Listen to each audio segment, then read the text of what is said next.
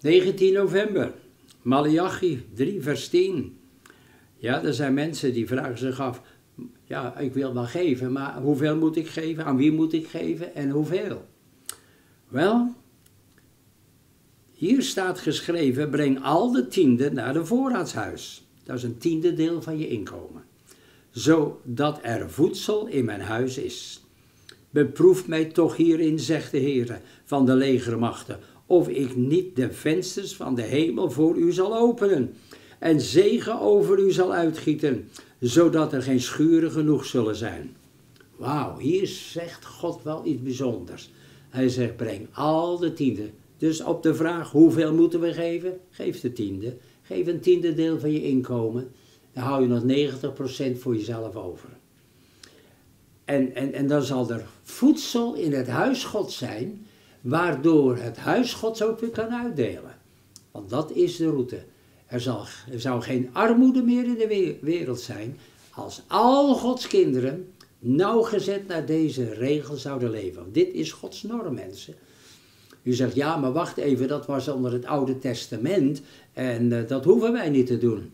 Maar Abraham, die leefde voor de wet. En die leefde voor Levi, want Levi was uit Abraham uiteindelijk voortgekomen. En Abraham gaf heel de tiende aan Melchizedek. Het bleek dus een scheppingsorde te zijn. Ook Jacob gaf de tiende. En, en, we, en we zien overal waar mensen datgene aan God geven waar God recht op heeft, die worden overvloedig gezegend. De voorraadschuur zal vol zijn. Hij zegt, je mag maar zelf beproeven.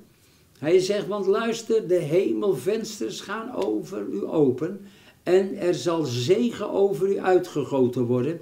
En het zal zoveel zijn, je zult steeds opnieuw schuren moeten bouwen en opnieuw en opnieuw, want de voorraadschuren zullen niet groot genoeg zijn. Dit is wat God wil doen. God is heus niet arm. Want hij zegt, van mij is het goud en het zilver. Hij wil u hart zien. En wij geven met ons hart. Ons hart komt tevoorschijn als wij geven. En dat ligt dus aan u. U mag geven. En als u geeft, zal u gegeven worden. Geschudde, neergedrukte, overvloedige maat. Hartstikke veel. Fantastisch leven kunnen we hebben. We worden niet armer van geven. We worden rijker van geven.